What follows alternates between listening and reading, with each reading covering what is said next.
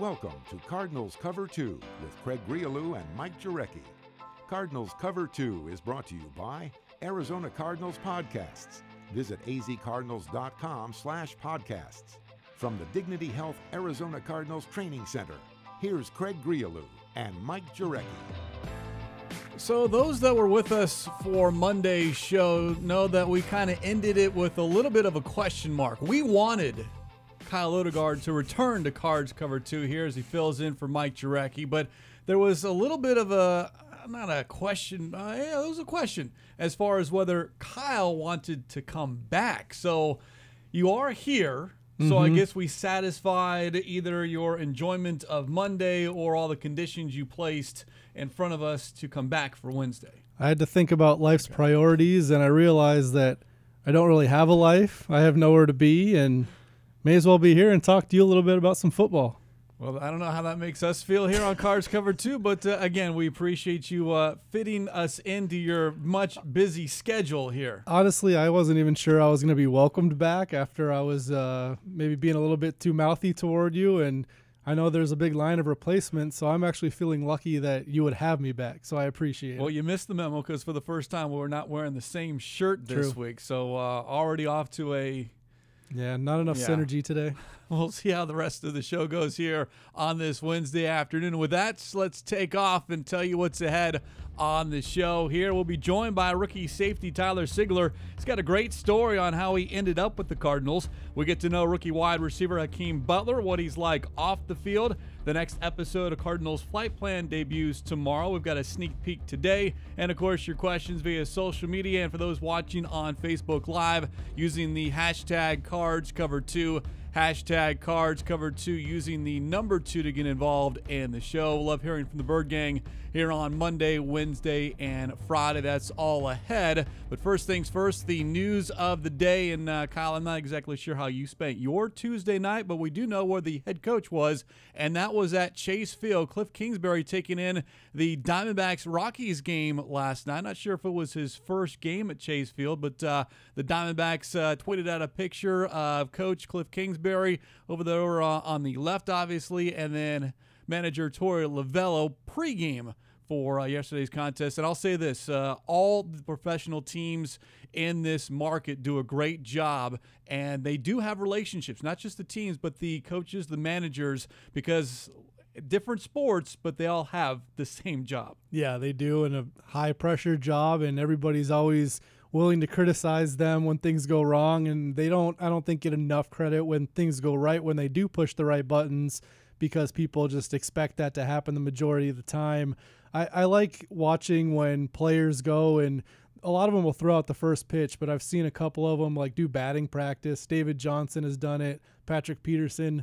Peterson was really good at it, but all yeah, these Johnson, guys his first time was not, not very good. good. Yeah. uh, all of them like doing the hypothetical discussions on who the best baseball player is or who the best basketball player is in the locker room.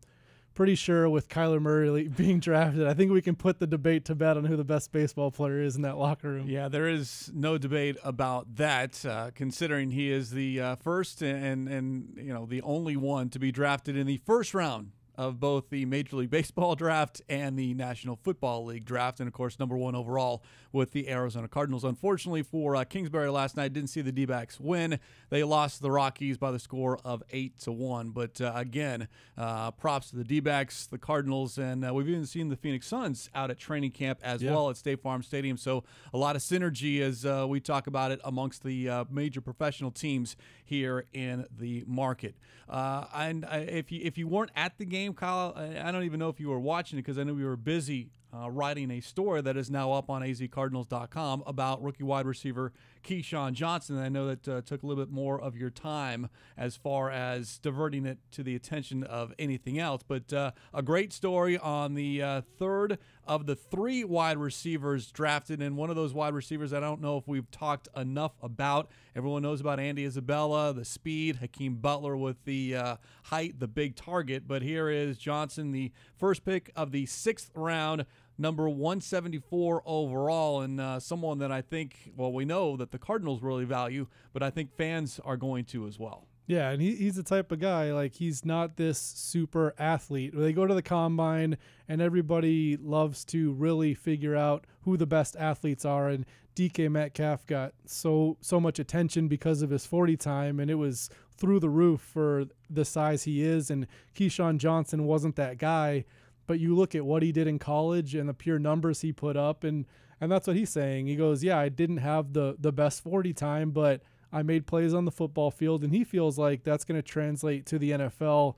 And I think the most famous example is Jerry Rice not running a fast 40 time, and he became the greatest receiver yeah. in NFL history. And Larry Fitzgerald doesn't run the best 40, but he still gets it done. So it's good to have speed, but it's not the end all be all. And KeeSean Johnson would love to just prove that – I can make plays because of my route running, because of my hands. He's got a lot of characteristics that can make him successful. Well, we even heard that about Christian Kirk yeah. last year as yeah. far as his speed and how was he going to get off the line of scrimmage. Well, all you need is a quick first step uh, and then beat your man or get your defender off balance. And then all of a sudden, it doesn't matter how fast you are that extra step and a half, perhaps, all of a sudden they're not going to catch you anyway. And then by that time, if they have gotten to you, well, you have the football mm-hmm. anyway. Mm-hmm. Yeah, and I mean, you think right away Christian Kirk against the 49ers, he had the 80 yard touchdown where he did a double move and the guy bit on it and he easily beat him deep.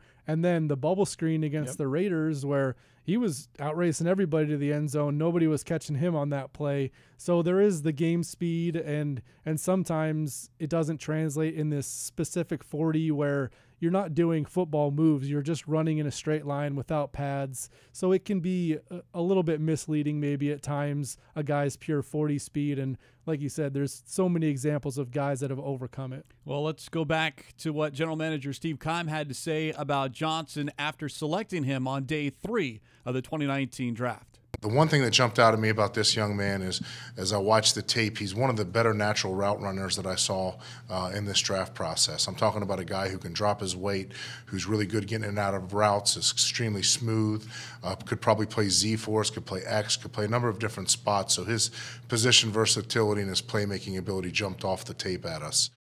And that was something that Johnson mentioned on the conference call immediately after he was selected because he was asked, Where do you see yourself as an inside receiver or an outside? And he's at that point, one, he's happy to get drafted. and two, it's like, you know what, just put me on the field. I'll figure it out. But we hear that a lot. And we've talked about it on this show as far as, okay, where does Larry Fitzgerald play? Where does Hakeem Butler, Andy Isabella?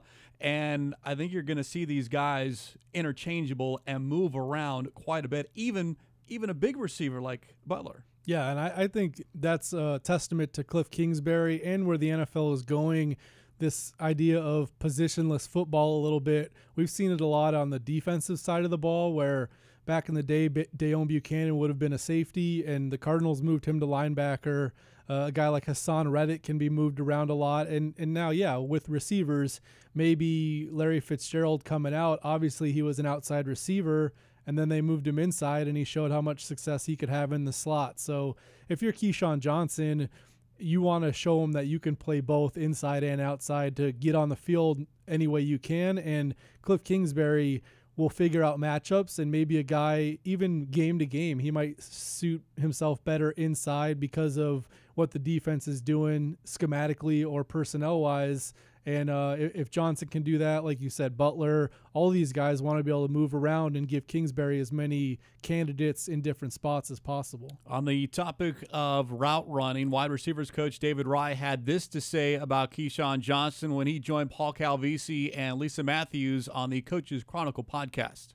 I mean, KeeSean is like the guy's smooth. I mean, you could put a glass of water on his head and he can run 80 yards without spilling a drop. You know, he is he's like a motorcycle. Like it's all one piece. The release, the stem, the top. He he runs right through the football. You know, you see he ran. I don't know what he ran. He ran a four or five.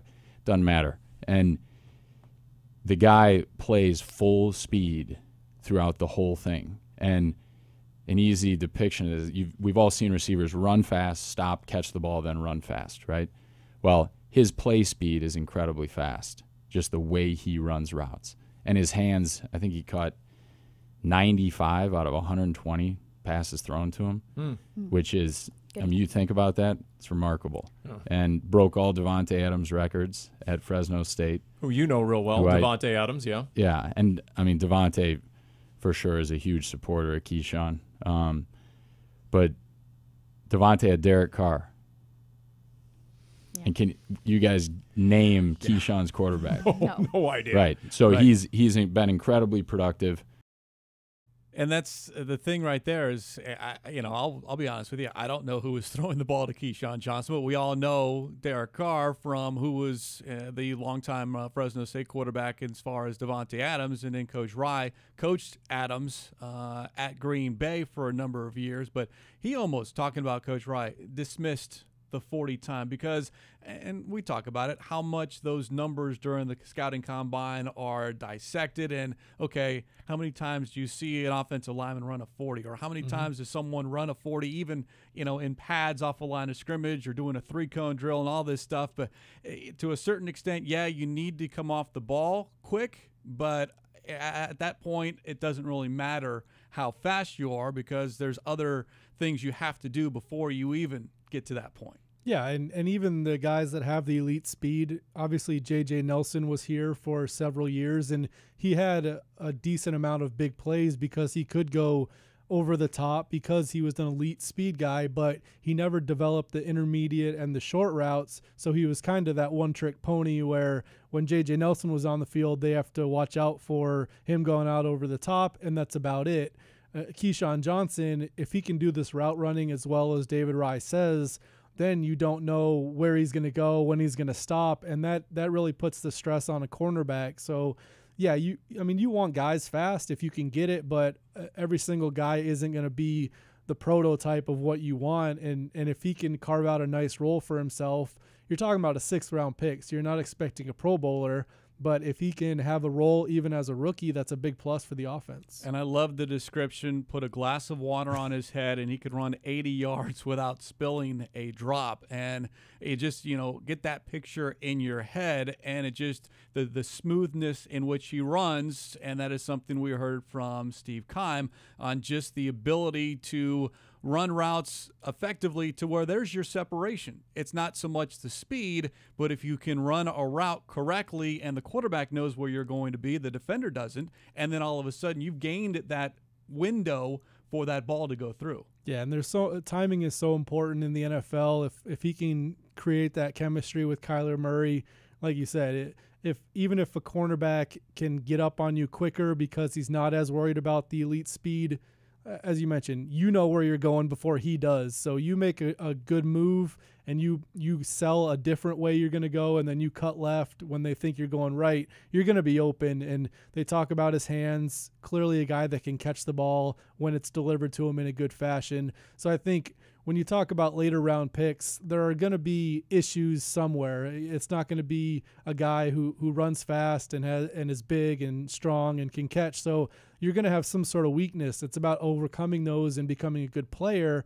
And you look at all the late round picks that have become Pro Bowlers in the NFL. R- Richard Sherman was a guy who didn't have the speed, and he turned into one of the best cornerbacks in the NFL. So KeeSean Johnson, from what we've heard in the offseason, has has done a nice job of equipping himself well in the NFL, and and he just has to keep going at this point and try to carve out that role. And that's something that he's always had to work for. And you pointed out in your story that's up on azcardinals.com his background and only three scholarship offers coming out of high school and then not looked at much at Fresno State, as evidenced by his day three selection. So he's always had that chip on his shoulder, and it sounds like it's still there to this day. Yeah, it almost feels like a redux of him going from high school to college when.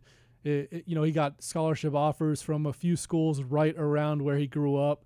Nobody out of state, no big conference schools, and then, like you said, he's setting school records and out, you know, breaking Davante Adams records, and we see the talent that Davante Adams has in Green Bay. So, if he comes anywhere close to what he did from high school to college, going to the NFL, then you're going to have a gem of a six round pick. Yeah, back to back 1,000 yard receiving seasons for Johnson, and he is the career school leader in both career receptions and receiving yards, marks that Adams held before Johnson arrived at Fresno State. Uh, one other note before we uh, get to our conversation with uh, rookie safety Tyler Sigler the uh, NFL Network asked this question earlier in the week which player who doesn't have a Super Bowl ring is most deserving? And the answer from Nate Burleson involved a certain Cardinals wide receiver. Um, another guy that has been consistent at a, a, a, later age, Larry Fitzgerald. I mean, I feel like Larry can get that ring. It will be the ultimate validation of his career. Not solidification. He's already solidified as a Hall of Famer, but it will validate all the work that he's put in. Just quickly, I mean, he's second in yards, second all time. All time. All we're talking all time, folks. Behind, of course, the GOAT Jerry Rice. Mm-hmm. He's third in catches, which is unbelievable in itself, and he's sixth in TDs and he's just 12 catches, 12 TD catches away from being in top five in every major statistical category. And guess what, guys? They're going to be throwing the ball a ton this year. Yes, fun. So Larry Fitzgerald can keep adding to the stats. I know it's crazy to think that the Cardinals with a young quarterback can win a Super Bowl. But hey, why not? A man could dream, can he? So Hell yes. I, I would love to see Larry Fitzgerald get a ring. Nate Burleson on the NFL Network, and uh, I'll disagree slightly with him as far as the validation because I, I, don't think there's any validation whatsoever. It's just uh, the getting that ring would be just the, the the cherry on top, if you will. I mean, just a, it doesn't need to solidify or validate his career. Fitz career is is is a finished product. Mm-hmm. Now this just, just would add to it and not even make it complete, but just say, okay, he got it because of all the work he has done both on and off the field. And at this point in the career, that's has to be the singular thing that's driving him because he's accomplished so much and when you're younger you're worried about getting the big contract and setting yourself up and your family up and and maybe doing things on an individual level but once you get to where Larry is in, in his career, it's all about winning a championship, coming so close in the Super Bowl. And then even 2015, uh, I started covering the team in 2013. And when they made the NFC Championship game, I remember being in the press conference after they lost to the Panthers. And you could just see how mentally drained Larry Fitzgerald was and, and how hard a time he was having coping with it, which you don't see a lot out of Larry, where he's not super emotional in the press conferences. On the field, he will be, but when he gets there, he's he's usually measured and and not too high or too low. But you could just see it in his eyes how much it hurt to lose that NFC title game shot. And yeah, I think there is some excitement around this team, and they're right. I mean, the Cardinals going from three and thirteen to the Super Bowl, that's uh, probably a pipe dream. But the fact that you have an exciting young quarterback and and then if you talk about Larry maybe sticking around, if they start showing some momentum, then you know you never know if maybe it is possible. So it's it's something that I'm sure he would love to cap his career with a Super Bowl. And that last part I think is the important part because you know you see improvements this season. You take the next step, and knock on wood, Fitz stays healthy. He still loves the game, has the passion to play for it, loves Sundays. Sometimes the Monday through Saturday is what kind of gets guys out of the game. But uh, I could see him sticking around and just uh, rejuvenated, if you little, uh, if you will, just because of the offense, and especially if one you're winning, and then of course balls are coming your way. Yeah, I mean, uh, and by all intents and purposes, you expect him to get a bunch of targets this year, have good numbers, and and as as hard as it sounds to make this big of a turnaround, we've seen it quite a bit with rookie quarterbacks where you show a little bit of promise. And uh, Jared Goff wasn't a rookie two years ago, but he was in his second season, and and the Rams really turned things around quickly. So if if the Cardinals can make some progress, uh, it, it can snowball a lot faster in the NFL than say baseball or something like that because you get the right person at quarterback and then when you talk about a rookie, you've got a cheap salary there, and then you can spend money to put resources around him. So if the Cardinals can get on the right path with a new coach, with Kyler Murray, this thing can get turned around quicker than people might expect. Yeah, just something to think about here as we get ready for 2019. As we continue here on this Wednesday afternoon from the Dignity Health Arizona Cardinals Training Center, broadcasting as we always do in our Bose QC35s. Go to Bose.com for more information. A reminder if you ever miss a show, you can download as a podcast via Apple Podcasts, Spotify, Stitcher, Google Play Music, TuneIn, and SoundCloud. And don't forget, all of your favorite Cardinals podcasts can be found at azcardinals.com forward slash podcast. Speaking of podcasts, there is a brand new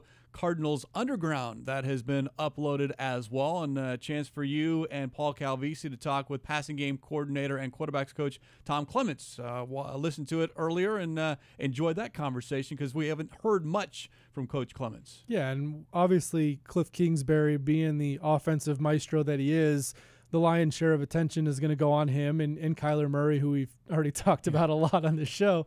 But Tom Clements is a, a, guy who has a bunch of experience in the NFL. And I think that's important because Cliff Kingsbury, uh, for as innovative as he is, he did it at the college level and, and he needs to make some adjustments coming to the NFL. And having a guy like Tom to lean on who he, he, he mentored Aaron Rodgers a lot and he coached Brett Favre. So he's seen the best of the best at the quarterback position and he's seen a lot of defenses and the way they've changed over the years. So I think having that sounding board is important for them and and he likes what he sees out of Kyler Murray. It's it's early obviously, but he's got a, a special skill set that Tom was bringing up and and it's something I think everything you wanted to see out of Kyler Murray so far we've seen it and he's got a long way to go because he hasn't gone against defenses that are trying to trick him quite yet, and he's not used to the speed of the NFL yet. But from what we heard, the early impressions from Tom Clements is that he's excited about his path. Yeah, and he's much further along, in Clements' words, than other rookie quarterbacks at this stage because of the familiarity with the offense. So that bodes well for the Cardinals moving forward. Speaking of the Cardinals, they do great work in the community, and now they're asking for you to get involved as well. In honor of its 100th season, the NFL is inviting fans to join the Cardinals, Cardinals players, and the other teams in a volunteer initiative called Huddle for 100. The goal of the campaign is for NFL fans to donate 100 million minutes of time to help shape what our communities will look like for the next 100 years. Those fans that do donate will be entered for a chance to win a VIP experience at the Super Bowl in Miami and other great prizes. azcardinals.com forward slash Cardinals Huddle for 100, where you can find more information. So, with the uh, veterans off and uh, away on vacation, the rookies have the entire facility to themselves. And uh, we had a chance earlier to catch up with safety Tyler Sigler, Division three product out of Wheaton College, wasn't drafted, wasn't signed after the draft, made the team after a three day tryout. We got into all of that, but we started with uh, another big moment recently happening in his life. So we'll get into your story on how you arrived to the Arizona Cardinals, but we have to begin with this because we've been told that in between the second and third weeks of off-season work, you got married. That's that's correct. Yeah, I uh, I was engaged about a year ago in May, and uh, married my beautiful wife two weeks ago back in Grand Rapids, Michigan. So how does that the planning of this because you, don't know where you're going to be if you're going to be anywhere. Yet mm. we are both married and we know the planning process because it can't be done quickly. It's got to be done months in advance. So how did how did that all work out? It was a little bit crazy. Um, I was in the New York uh, mini camp, rookie mini camp uh, with the Giants, and didn't get signed. So went back to Michigan with three weeks left until I was married, and things were a little bit uneasy. But um, luckily, my wife is a very loving and forgiving and kind person. So she was very patient um, and knew that it was really important to me to chase this dream. So then the opportunity came with Arizona. Flew out here for the three-day tryout. Um, really went really well and ended up being signed. So kind of that faith and trust, and there, there was a bigger plan. Ended up playing out pretty well. Um, and so, yeah, it was crazy for the first for the two weeks leading up to the wedding. I was here. I flew out on a Wednesday night. Got there at like 1 a.m. on Thursday morning, and then did wedding prep Thursday, rehearsal dinner Thursday, wedding Friday. Flew back out here Sunday wow. after a day and a half honeymoon. So day and a half. Did you go anywhere? Uh, no, we went to a hotel in yeah in Grand Rapids, and then saw some family. So it was quick. When you when you originally got engaged and started planning, hey, in a year we're going to get married, were you thinking this will be my last year of college football? graduate and then move on with our lives and look for something else. You probably didn't think the NFL was uh, Yeah. in your plans at that point. It was like somewhere between a dream and may, a maybe. Yeah. Um, a year ago, I thought I would go work a finance job or a sales job, Yeah. and uh, yeah, I had some uh, some a little bit of interest from some NFL teams, but didn't have a really secure, uh, you know, coming from a small school and. Um, and then as the year kind of progressed, things got a little bit more serious and a little bit more. And then it was kind of like, my agent was like, "No, you're fine. They're not gonna have OTAs on a Friday. Not gonna have OTAs on a Friday." And then all of a sudden, boom, OTAs on Thursday and Friday. Um, but luckily, the coaches here were incredibly patient and Mhm. let, let me take two days to go get married. And understood good the importance of excuse. that. Yeah. Very nice. Well, again, he joined the Cardinals during rookie minicamp on a tryout basis. Mm-hmm. You impressed them enough to get signed. So, what was that, the waiting, and then what were you told when they said, yeah, we want you to stick around? We're going to put you on the roster? Yeah, so it wasn't as exciting or like elaborate as a lot of people think. Uh, I walked off the field on this, the, the last day of the rookie minicamp, the Sunday, and uh, I had already had my shuttle information and my flight to go home. And um, someone from scouting came and grabbed me and said, "Hey, don't leave the facility." And I was like, "Okay, hopefully that's a good thing." but I didn't really know, you know, I hadn't gone through the process at all. So um, a lot of waiting, sat in the locker room. A lot of guys left, started catching their flights, and started to get a little anxious. And then um, they kind of grabbed me and said, "Hey, your agent didn't answer his phone. Call your agent."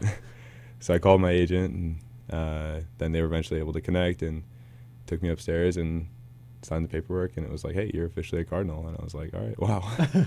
it's pretty unbelievable. And so um, for me, it was it was pretty surreal. I come from a family that's big football family. Daddy and grandpa are were high school coaches, and so being able to call my dad and my grandpa and my family and my wife, soon to be wife, Mhm. was pretty emotional. It was pretty unbelievable. How pressure packed is that time when you? And I know you went to the the Giants camp too, but doing both of them, knowing, hey, I've got to show these coaches something in order to Mhm. get on this roster, and I basically have three days when you don't know much about the defense and you're trying to figure out who your teammates are. What, at a mental standpoint, what do you like when you know how much is on the line in this situation?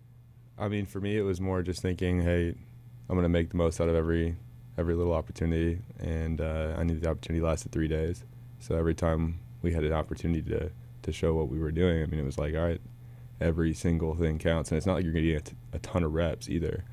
You know, three, four reps in a in a period of of a, of a team period. So um, understanding, I think being in New York for that weekend really helped me kind of get a head start on like, okay, this is what to expect. This is what you know it takes, and uh, was fortunate enough. I mean, honestly, it- some of it too is, is a little bit of luck and a little bit of ball being thrown your way, making an opportunity. You know, so it's pretty much just every opportunity really counts, and you got to make the most of it. So that was kind of my mindset going into it. Was well, here I am, might as well leave it all out there and have fun. So we always hear it doesn't matter how you get here, you got to make the most of your opportunity. We also find out that it doesn't matter where you went to school, they'll find you. Mm-hmm. That's and you right. mentioned small school, Wheaton College, That's right. D3. That's I right. mean, I, explain one what Wheaton where and what it is and Yeah. then that when you far, first maybe got noticed that maybe hey the NFL might come looking. Yeah, so uh, Wheaton College is a tiny little Christian school in the west suburbs of Chicago, and uh, I got recruited out of high school to play baseball mainly, um, and didn't have a ton of football opportunities. And Wheaton said, "Hey, come, you can come play both here." And that was really appealing to me, and uh, so I went down there to visit. And the head coach Mike Swider is an incredible guy. He's been there for 30 plus years. Has kind of built the built the, program, and so about two years into being at Wheaton, we had a coach come in. His name's Andy Studebaker, and he played for eight years in the NFL. And he kind of pulled me into his office going into my junior year and said, "Hey, this might be an opportunity for you." And then uh, our defense coordinator, Coach Langs, had kind of already prepped me for that conversation. And so he, they both were like, "Hey, you might have a shot at doing this." And I kind of was like, "Yeah, you know, I was 20 or 19 at the time. I was like, yeah, whatever, sure." And uh, then things started to progress going into my senior year where teams came in and had me run, and teams started showing up to practice my senior year, and I broke my foot during my regular season year, the second game, so kind of thought that was that was gone, the opportunity was gone. But they started showing up again the following year, and uh, then all of a sudden this opportunity started to come up. Agents started contacting me, and I thought, why not? Let's give it a shot. And Mhm. so kind of crazy that it ended up here, but yeah. Did you think baseball might be a, a professional future for you going into college? Yeah, much more than football. Yeah. Much, much more than football. Yeah, had some opportunities to play at some MAC schools, but really wanted to play football, and um, yeah, I think it worked out. Is that a lot because of, of your your family and your Yeah. dad and grandpa being Yeah, I football mean, uh, at times it was like football was like almost too much. It was like too much of football. You know, you go home, it's on TV, talking about it in every conversation. But as I left the house and went to college, it kind of made me realize how much I loved the game of football and loved being around it and playing it. And um, so when it came, when I actually was at, you know, getting ready to leave for college, it was like, yeah, I need to go to a place where I can play. So you, pl- but you played baseball as a freshman. Yeah, Football as well. Were you? yeah. So I was dual Okay. sport my freshman year, and then uh, I just it's I, I couldn't Can, yeah. couldn't do both. I, it was a little bit overzealous when I got to college, but uh, so I decided to focus on football, and 'cause I, I just had more passion for the game and loved it a lot more. So So Kyler Murray's not the only two yeah, exactly. star on this team. that's right. Yeah, What what do you think of the the speed of the game when you go through these practices coming from a smaller school to Mhm. you know NFL wide receivers and how big of an adjustment has that been for you? uh, I think it, it's a mentality thing. Like the first couple days, you're like, oh, geez, these guys are bigger, faster, stronger, and ten times over. But as you get out there and start to talk to them, it, it- for me, it helps. Like when I have a conversation with a guy, I'm like, oh, he's just a normal guy. You know, Mhm. it's like sometimes we blow them up to be what they are on TV. I mean, at the end of the day, it's like I realized I was here for a reason, and I could run and play with these guys. And so as soon as I kind of got over that first day of like, oh, you know, Andy Isabella, he's pretty fast, and like some of these other guys, it was like, all right, you know. But the speed and, and the yeah, speed and size is much much different. It's much different. What do you think about your opportunity here within that safety room, and then obviously special teams? That's where everyone gets their feet wet, especially Mhm. with uh, rookies coming in. But uh, on where you fit and potentially long term here. Yeah, I mean it's it's all opportunity. So I mean, for me, I know that special teams is going to be my bread and butter, um, and that's only going to give me an opportunity to be coached by the, the safeties coaches. And I think it's all opportunity, and it's just what you make out of it. And so um, I'm excited for you know training camp and the preseason to really show what I think my ability is. But I think it's just all. I mean, special teams is everything. I got to go out there and play really well in special teams, and um, and it's. I mean, I think for me, it's an effort thing, playing as hard as I can, and and uh, having a lot of confidence will make a huge difference. But I'm really excited. I'm excited for the opportunity. It'll be pretty awesome. Did your wife like it here? She does. It's hot. I mean, it's so hot here, but um, yeah, we're adjusting to the weather. But it's better to be sunny and hot than it is to be in the in the cold and rainy. So Well, we'll get you out of with this uh, and bring it full circle. hmm Honeymoon, is there one in the planning stages, or at least so it's not just a one day, one and a half day thing. that's thing? right. Yeah. So we actually uh, we drove to San Diego for three days this weekend. Okay, there So we're we go. trying to break it up into small honeymoons. I promised her a two week honeymoon by the time uh, by the time everything is said and done. But yeah, it's, it's coming in the future. Well, congratulations Thank you. on both that. the marriage and on making the team, and best of luck the rest of the way. Thank you. Appreciate that. Really enjoyed uh, that conversation with uh, safety Tyler Sigler, and uh, the reason. Well, we have Kyler, uh, Kyler, we have Kyle uh, here for a number of reasons, but uh, he actually has more on this wedding story because I find this fascinating. I mean, you you you, you have such a passion for the game, and it's your goal, and it's your dream, and you'll do whatever it takes. And and Tyler did do whatever it takes because he was only what two days, a day and a half before his wedding, he showed up. But uh, you actually did a little bit more digging into this. Yeah, and it sounded like what they originally thought was if they plan it for the end of May, uh, then even if he did latch on to a team, then the it would kind of be done for the summer at that point, and they'd go on their vacation, their honeymoon, and then he could go to training camp after that. But their dates were a little bit off, and they figured out once he had an agent. The agent said, "No, if if you're signed with a team at that point, you're probably gonna have to practice on Monday when you after the wedding." So they realized that they said, "Okay, we'll deal with it if it happens." And and obviously, you know, 19 days before they got married is when he got signed by the Cardinals. He had to figure out everything, and like he said in the interview on Thursday and Friday, the team had OTAs, so he took those off and left on Wednesday night and there was some question. He had to redo his flight because they pushed practice back a little bit on Wednesday, and they were scrambling to make sure he could get back for Thursday. Because I talked to his wife, and she was saying we don't want him to miss the rehearsal dinner. It's pretty important that he's there. But he made it back, like he said, 1 a.m. rehearsal dinner. Went to the wedding, got married, hung out for one day, then they came back, and they're they they're probably going to do something later, but it's it's a little bit uh, up in the air at this point as far as a honeymoon. I think. Well, at the end of the day, I mean, it, it all worked out, and uh, happy for Tyler and his wife. And uh, again, it's a, it's a, a the backstory is is tremendous on this. The Cardinals brought in 28 players during rookie minicamp on a tryout, so you have three days to do whatever you can to impress the coach, the head coach, uh, a personnel person, and then get signed. So Sigler was signed, as was Dontae Strickland, running back out of Syracuse. So we'll see what happens with those two. But uh, I know you're working on a story about uh, the tryout process because it is another way to get in, and any way you can get into the NFL is a way. Uh, it doesn't matter as long as you get here. But uh, you, rem- you reminded me a couple of years ago, uh, Elijah Penny on a tryout basis, and he was actually very productive mm-hmm. with the Cardinals, and right now currently with the New York Giants. Yeah, and it's the situation for these guys where if, if you don't get drafted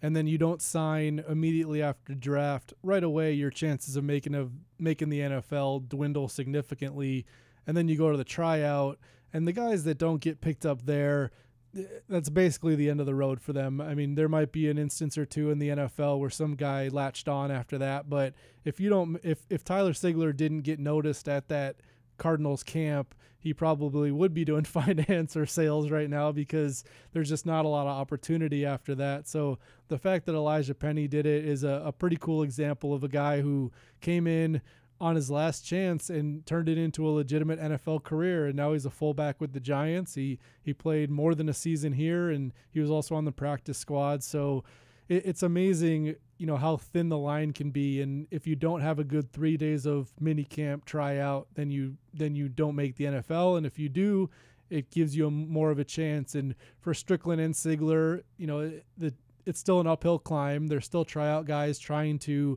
make the team or make the practice squad, but just to get here and to give themselves a chance is really cool. Yeah, Penny, uh, the 2017 season with the Cardinals, 31 carries, 124 yards, and two touchdowns. And as we mentioned, now with the Giants, one of those success stories after a three day tryout. As we continue here on a Wednesday afternoon, Cards cover two from the Dignity Health Arizona Cardinals Training Center, broadcasting as we always do in our Bose QC35s. Go to Bose.com for more more information. And a reminder if you ever miss a show here, you can download as a podcast via Apple Podcast, Spotify, Stitcher, Google Play Music, TuneIn, and SoundCloud. And don't forget, all of your favorite Cardinals podcasts can be found at azcardinals.com forward slash podcasts. Well, as we've talked about here on this show and this entire week, the rookie work continues, the offseason program this week and next week. And with that, how about we get to know wide receiver Hakeem Butler just a little bit more? It's another installment of Rookie Cards with Lisa Matthews. I am here with wide receiver Hakeem Butler. Welcome to Arizona. So this is just to get to know you, the person. Are you ready? I'm ready. Two, three. I win. If you had a warning label, what would it say? Enter at own risk. Wait, what? I like it. All right. Enter at your own risk. Yeah. That's good. Three. Win again. Nah, you cheating. Dang, dang. what would you do if you could be invisible for the day? I would go to Area 51. There's some stuff going on. Okay. I want to see what's going on. Three. If you could vacation anywhere, where would it be? Australia. I've just always wanted to go to Australia. Three. What should your Madden rating Oh. be? 99. You heard it. 99. 99. Three. Winning. Look at this. What's a personal goal you'd like to achieve this season? Just have my confidence at 100 24 7. Three. You won! Yay! Who's the greatest of all time? Michael, Kobe, or LeBron? Anybody that knows me knows I'm going to answer it is Michael Jordan. Not even close. Mm.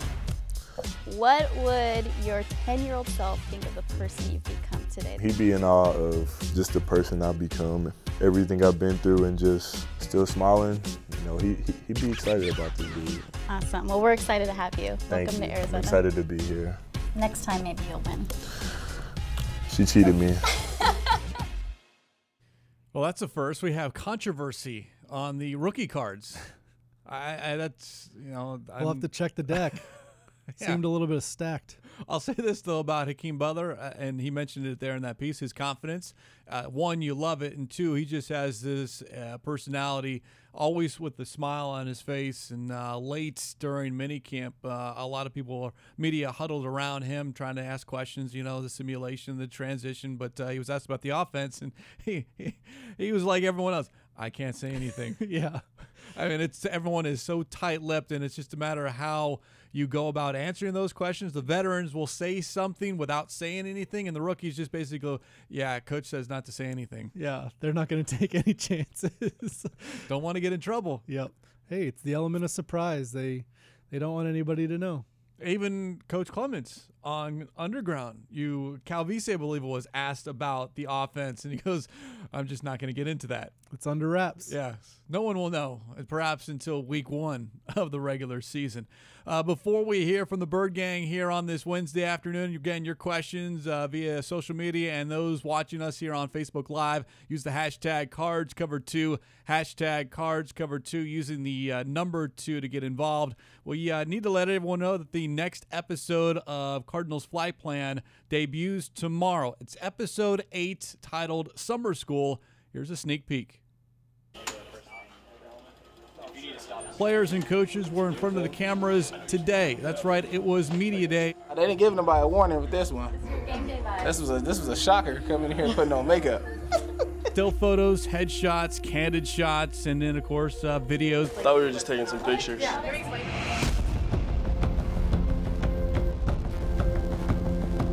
This summer and this August are really the most critical time for this personnel department in a long time. We have to make sure that we are dialed in and everything is lined up perfectly. Here we go! First stone! We got huge ace. Get in your stance. Let's go. Get in your stance. We got nasty over here. Nasty. Number one claim is awesome, dude. We've had a lot of success in the past uh, when we had late summer signings. So there are players out there that we can find that's going to make this football team better. So we are going to continue to try to put gas on the fire. Hey, just wait on it. just wait on it.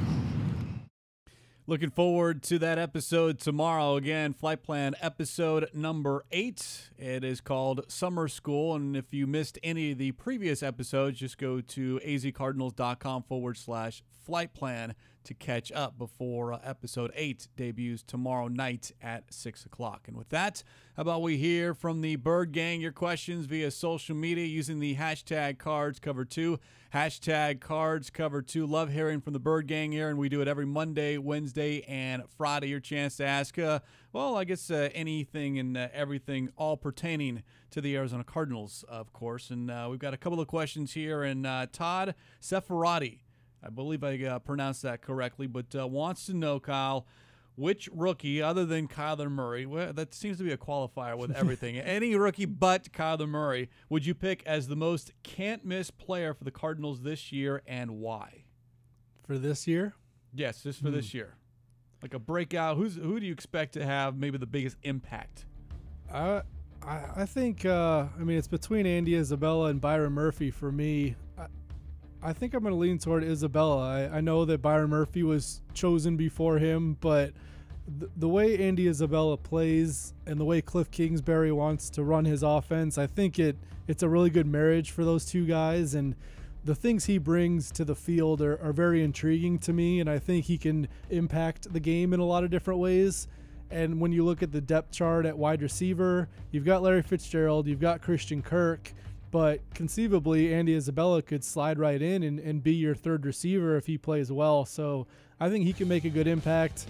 Murphy, I think, Yeah. can as well, but I'll go with Isabella. And especially Byron Murphy because of the fact that he's going to have to play with Patrick Peterson missing the first six games, and in the potential of these guys on special teams, maybe Isabella punt returner. True. Uh, Byron Murphy maybe on special teams, whether uh, on the coverage units or perhaps you know we've talked about it. Scottsdale Saguaro, he was a great offensive player. I don't know if they'll utilize those weapons here at the NFL level, but uh, in case of an emergency, he you certainly have him available. Yeah, and obviously just at corner, whether he's playing the slot, whether he's on the outside, we don't know how that's going to shake out yet, but Byron Murphy's going to be a pretty big part of the defensive plan already as a rookie, and they were so excited about him when they picked him. So I think both of those guys can really make a nice impact, and and if Byron Murphy can become a, a, starting legit cornerback, that's that's a big hole to fill that the Cardinals haven't had opposite Patrick Peterson for a long time. Got another question uh, about the uh, offense. Dave Fitch wants to know: Will the Cards be able to employ play action concepts in their new offense? And then he added, "Can't see how that happens in shotgun formation." Oh, I no, I definitely do. I you've seen it a lot. Uh, it's it's not the traditional going from under center play action, but you hold the ball out, and some of it's the run pass option Yes. plays. Some of it is uh, like the zone read where you're going to hand it off and then he keeps it. And sometimes Kyler Murray can run that ball, or sometimes he can drop back and throw it. So I think play action is going to actually be a big deal with what the Cardinals are doing, trying to keep defenses off balance and knowing how good David Johnson is running the ball and knowing what Kyler Murray can do with his legs. I think the play action is going to be effective because teams are going to have to be worried about a lot of different things when they do fake that handoff. And it's it's going to look a little different. and It's going to look a lot different than what we're used to. But it's all about the element of surprise or catching that defense to where it's just for a moment they're either moving up or dropping back, and that's as you were talking about the linebackers, even the corners on the outside, to where you can kind of catch them off guard, and that's what play action is all about. And what Cliff, Cliff Kingsbury likes about shotgun, when you do play action there, Kyler Murray can already be assessing the defense. He can hold the ball out, but also keep his eyes on what's going on. When you do it from under center, the quarterback's blind because he's running backwards while he's faking the handoff. So, in some respects, the play action from shotgun might actually be more impactful because you're already a little bit step ahead because you can see how the defense is reacting. Last question here from the Bird Gang. Appreciate uh, all of your questions here on this Wednesday afternoon. Sean Daigle wants to know, and I know there are many of you out there that want the answer to this. Will training camp will have open practices this summer? And the easy question or the easy answer is we'll see because we don't know. Nothing's been officially announced. And I know there are teams around the NFL that are beginning to announce those, but so far the Cardinals have not said anything about the start of training camp or even how many of those practices will be open. Yeah, we'll see. And obviously, it's a new coaching staff, and they might have specific things they want out of training camp. Um, but knowing that it's coming up, those dates will probably be released pretty soon, and and people can figure out exactly what's open, what's not, what days they'll be on. But there's a lot of intrigue about how the Cardinals' offense is going to look, and I think for the fans, uh, they obviously want to get out there and see what Kyler Murray looks like, what all these rookie receivers look like. So I think, d- despite last year's record, I think there's a lot of interest in the Cardinals heading into 2019. Appreciate the Bird Gang sounding off here on this Wednesday afternoon. Your questions, keep them coming. We'll get to as many as we can. Love hearing from the Bird Gang using the hashtag cards cover two. Hashtag cards cover two. One note about the uh, training camp practices and the uh, question about how many will be open. I know there was uh, a lot of buzz earlier this week, and there continues to be because the Philadelphia Eagles announced their training camp schedule, and just one of their practices, let me repeat that, just one of their practices is going to be open to the public. Other teams have come out with as many as 15, some with 12, others with 8. So it varies team by team, but uh, it's that element of surprise. You want the fans to get excited about the upcoming season, yet at the same time, there's work to be done. And how much do you show? Not just the offense. Everyone's curious, of course, with the Cardinals, but defensively as well. Special teams, all the fakes, everything that needs to be worked on during a limited time that you are on the field, and how do teams balance? All right, let's open it up to fans. Let although the coaching staff needs to get its work done. Yeah, and it's a, like you said, it's a, an intricate balance of trying to figure out what what you can show and what you don't want to show. Uh, At the end of the day, I think the the important thing is for these guys to whether there's fans or not, really get locked in in training camp because there's so much to be figured out. and there's there's some position battles. There's a lot of young guys. Even the old guys are learning the offense still. So every training camp for every team is important. But you think back to like 2015, 2016 for the Cardinals. Bruce Arians had been there multiple years. Carson Palmer had been your quarterback. It was a very veteran laden group that had been together for a long time. So for for this this group especially, I think training camp is going to be really important for everybody to gel together and, and, look forward to a hopefully successful season. Yeah, get as many reps as possible before you start the preseason and even start the regular season. With that, we'll wrap up this edition of Cards Cover 2. Uh, can't thank uh, Kyle Odegard enough for filling in these past two days. I hopefully have convinced him that it's okay. He is, uh, one, allowed, and in two, uh, always welcome to join us here on Cards Cover I'm Two. Writing not that just down. not just not just during the season on Film Room. Okay. We tried to get Film Room during the off season. It just turns out they're not playing. dissect a practice, uh, drill. That didn't work out. Dissect some vacation. Yeah, there we go. Well, you enjoy your vacation. We'll be back with you on Friday. Special thanks to those behind the scenes Tim Delaney, Jim Omohundro, Devin Henry, Grant Greeley, Jackson Sipes. For Kyle, I'm Craig Grialou. We'll talk to you later on Friday here on Cards Cover 2.